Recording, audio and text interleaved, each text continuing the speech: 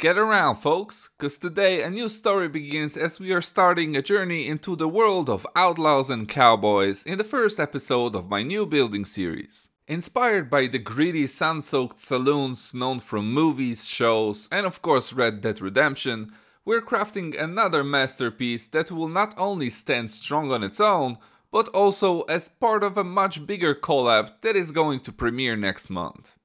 So grab your spurs and load up your six shooters partner as we ride to a time when cards were dealt, shots were fired, and legends were born. So let's get started right now.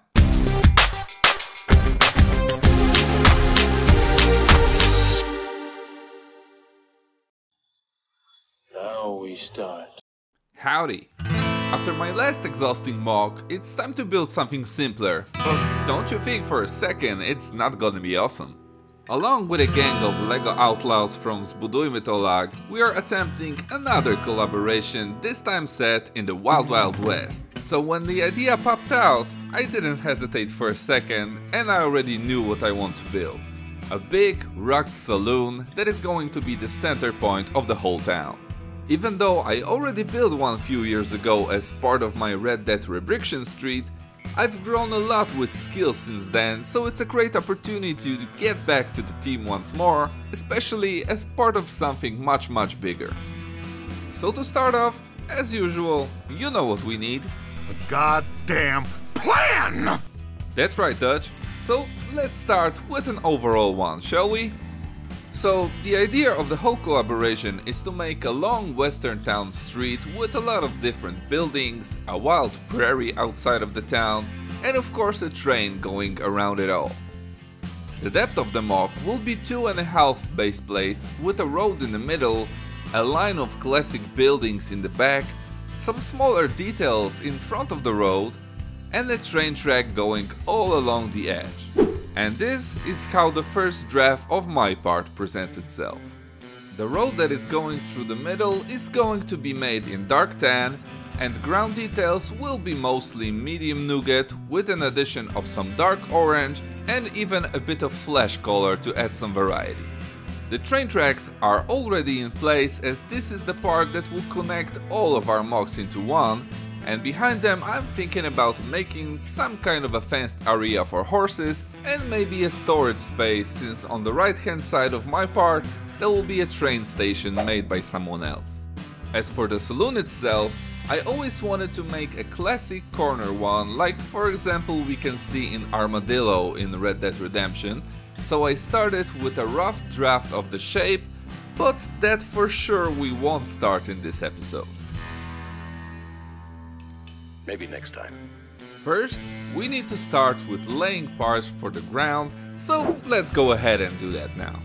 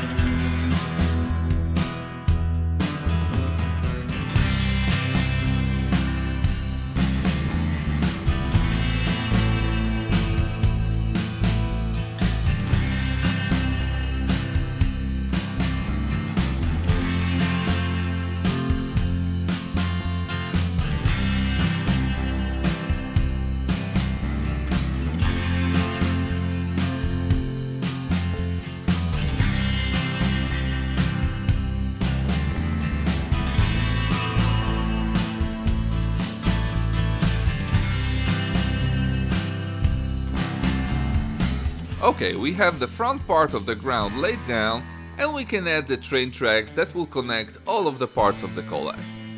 Now before we make the area between the tracks and the road, I first need to figure out how I actually want to make the horse pen, so let's move this front base plate aside and start stacking some dark tan pieces for the road just to have a more general idea of how it should look.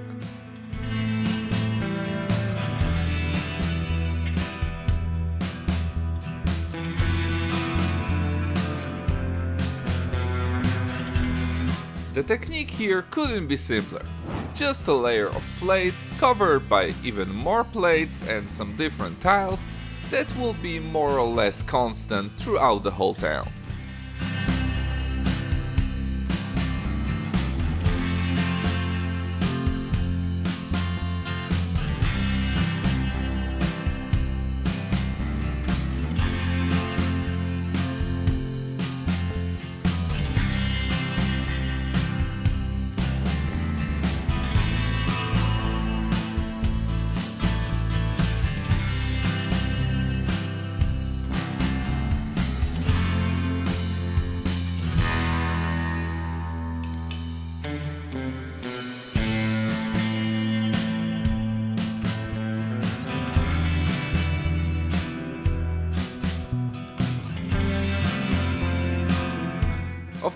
I needed to add some ground color spots just to make it more interesting and this way we have a nicely finished middle part, so let's go ahead and place the remove front base plate to see how it all works together. And here as you can see I've already marked the place where the horses will have their little parking spot and on the right I will leave some space for crates, barrels and all sorts of other train station junk.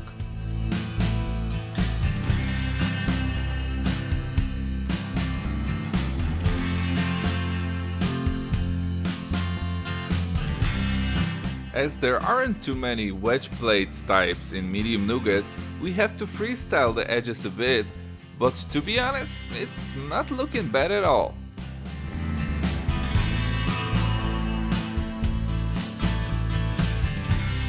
In the horse pen itself, I was thinking about a puddle of water, but since I don't know yet how I will actually decorate this place, I decided to give up the idea for now and just cover it all like the rest of the road.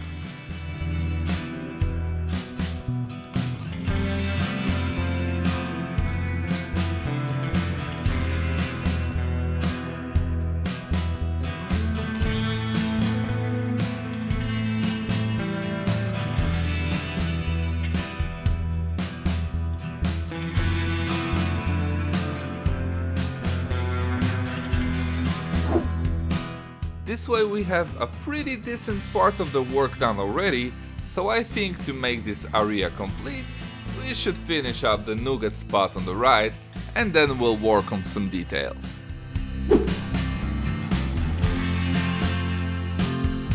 I need an evenly tiled surface here with just a couple of jumper studs because like I said I want to cover it with some random junk later on but for now it should be enough so let's take a quick look on how the whole progress looks so far.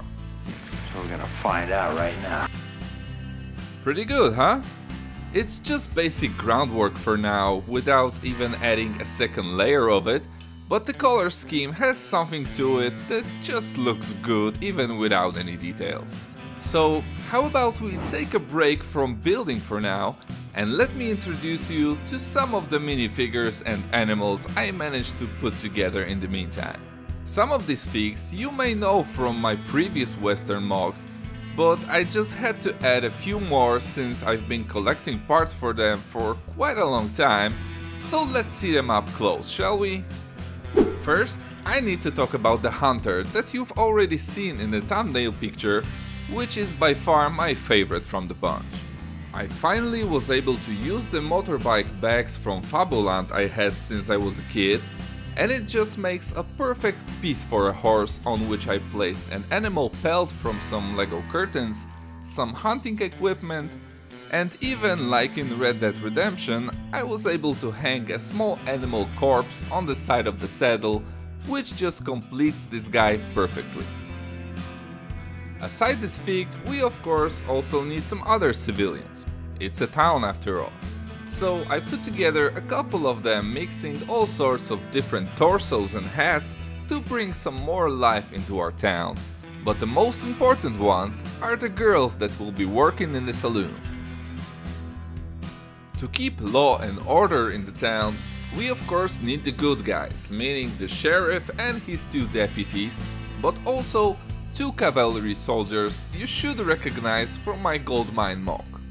And if you don't, well, you obviously have some catching up to do, so I'll leave a link to that video in the card and in the description below. Also from that mug, we have our band of outlaws that will be causing some trouble in the saloon because, well, it's the Wild West after all, so there always has to be some individuals that will be on the other side of the law.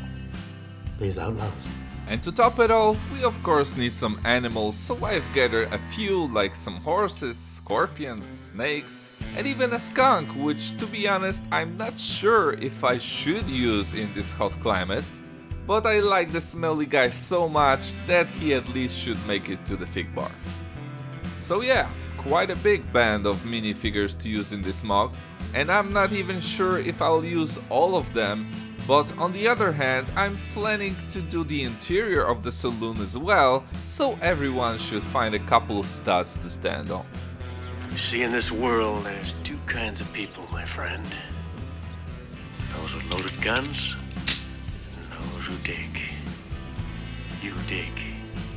Yeah, with that out of the way, let's get back to building, because I still want to add some details in this episode, so let's do that by adding a second layer of the ground first. I figured these dark orange spots should be a nice place to raise the terrain, so let's add a couple of parts here that should make it more interesting before I'll start adding some additional details. Now what landscape would it be without some plants, so let's replace a couple of plates with jumpers so that we can have some place to stick in the stems and already it's beginning to look more lively, but it will get even better when I break the color scheme with some sand green plants. Of course, having these small succulents, we cannot forget about some bigger cactuses, so there we go.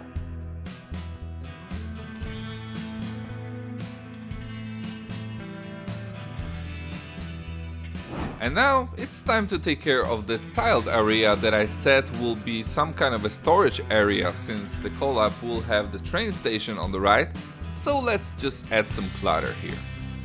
I didn't expect these junk piles to be such a great addition to the landscape, but I'm glad I went that way cause it's filling this area perfectly.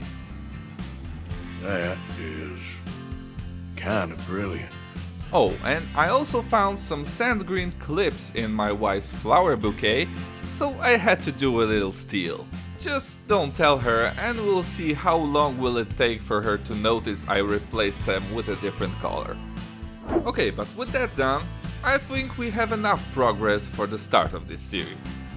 I was waiting for this build for a long time because I'm a huge western fan and finally, it's all growing in front of my eyes and I couldn't be more excited.